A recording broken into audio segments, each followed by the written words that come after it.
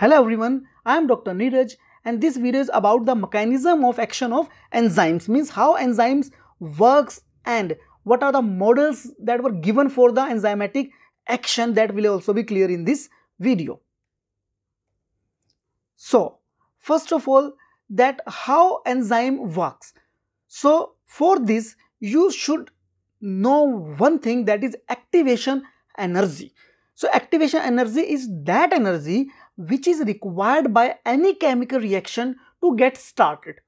So, it is you can say minimum energy which is required for the reaction to get proceed. Like in this diagram, you can see these are the reactants and if they will be converted into this product, they have to pass this energy barrier. So, this is the activation energy and without enzyme as you can see this diagram is for without enzyme. So, without enzyme this activation energy is more for the substrate or reactant to you can say cover.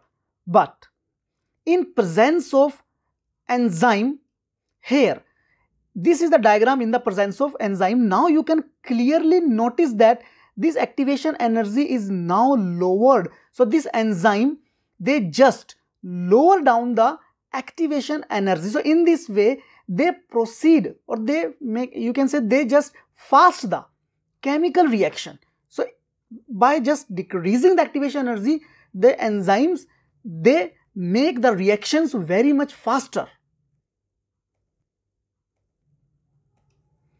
Now, what are the models that were given for the mechanism of enzymatic action? So, there were two models, popular models. First one is the lock and key model and another is the induced fit model. So, first I am discussing the lock and key model here. In this model, this was given by Emil Fischer in 1894 and according to this model, the active site of enzyme, it is a rigid shape means the active site of enzyme it do not change. It has a very rigid shape and only the substrate that has the perfect match with that active site will fit into the active site. Any other substrate that is not properly match or completely match with the active site will not enter the active site.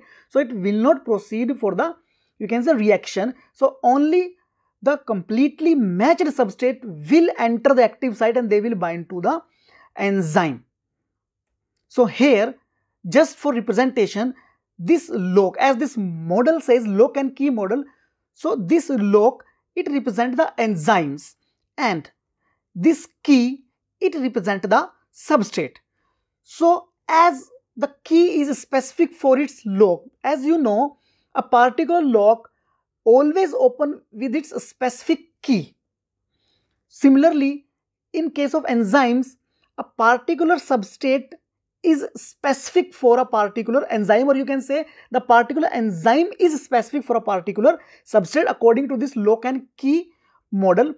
And what it exactly says that the shape of active site it never changed. Only the perfect matched substrate will enter the active site of enzyme just like the key opens a particular lock so here if you imagine a reaction is just to open this lock so this key, if the key is of this particular lock, only in that case this lock will open. Otherwise, the other keys, they will not work. So here, if this key represents the substrate, so now the reaction is just to open. So now you can see that as this substrate enter the active site, just like this key enter inside the lock. So as the substrate enter inside the enzyme, then the reaction proceed as, as you can see now the this lock has been opened which is the product of the reaction. So according to this lock and key model, it says that this, you can say this enzyme and this substrate, they should be 100% compatible or the substrate should exactly fit into the active site and active site will not change its conformation or shape. It is a rigid molecule.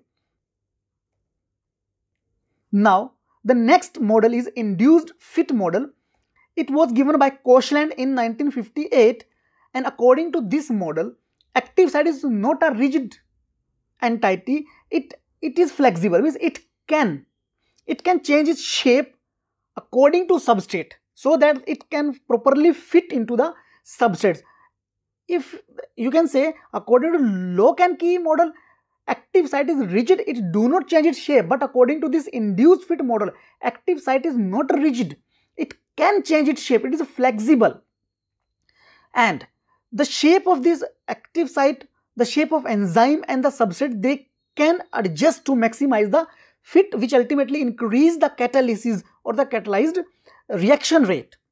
Here, in order to understand this model, so here a brief animation. So for example, this is the enzyme and here this is the active site which is just uh, written here. So this groove, this groove represent the active site and now this green triangle it represent the substrate.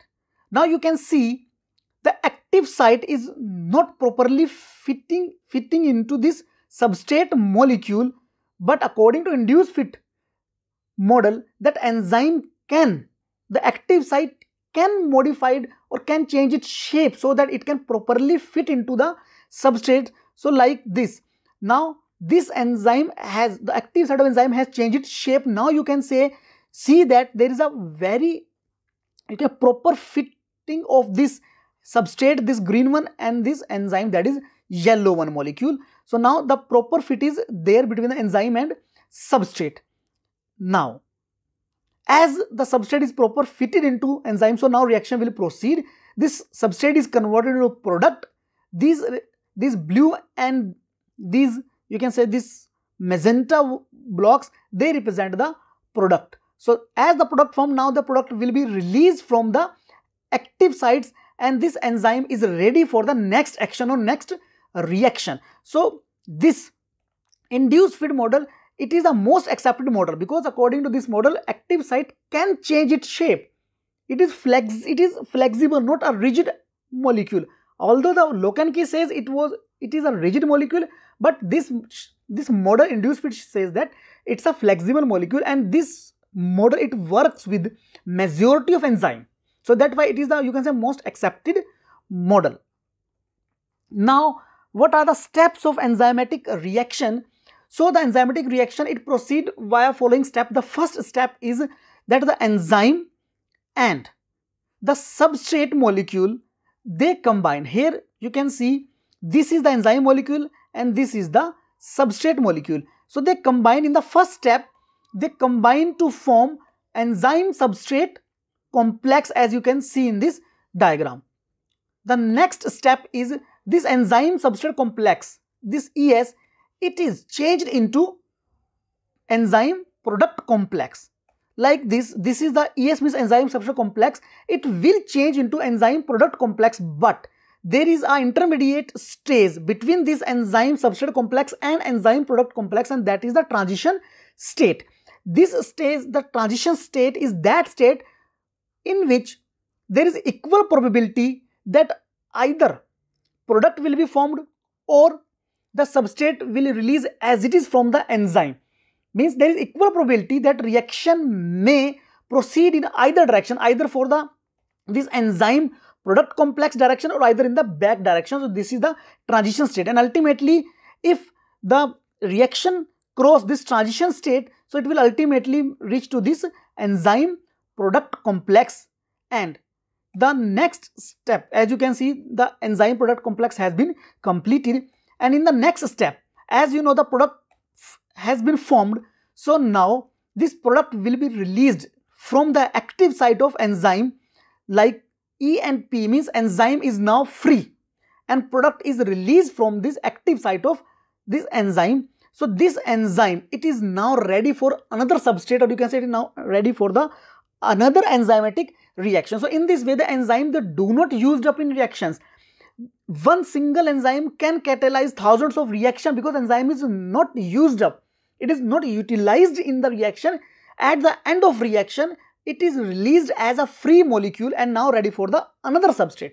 So these are the steps by which the enzymatic reaction proceeds. So that's all for this enzymatic action that how enzymes works. The model of enzymatic action that is lock and key and induce fit and ultimately the steps of enzymatic reaction. So that's all for today guys. See you in the next video. Thank you very much.